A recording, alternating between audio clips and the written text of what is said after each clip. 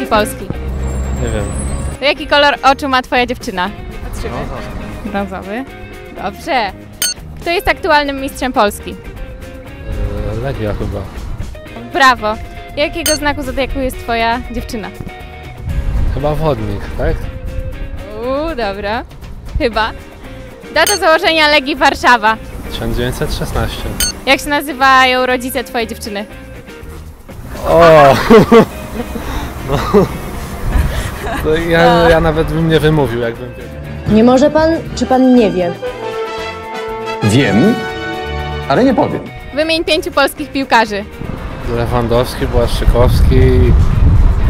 No i koniec w sumie. Okej. Gdzie się poznaliście? W szkole. Okej. Mistrz świata w piłce nożnej to? Nie mam pojęcia. Kiedy się poznaliście? Grudniu. Okej. To by było na tyle. Okazało się, że znasz lepiej swoją dziewczynę niż piłkę.